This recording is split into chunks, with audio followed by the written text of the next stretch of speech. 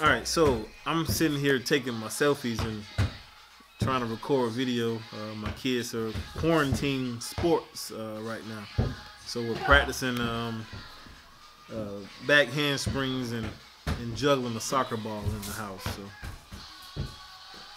here we are.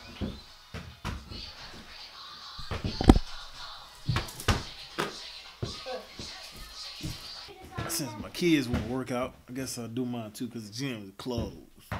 Why is the gym closed? Oh, quarantine. Quarantine. Yep, they broke my heart today. How? Well, I, I saw cars, and the guy came outside and he was like, "Yeah, we're closed."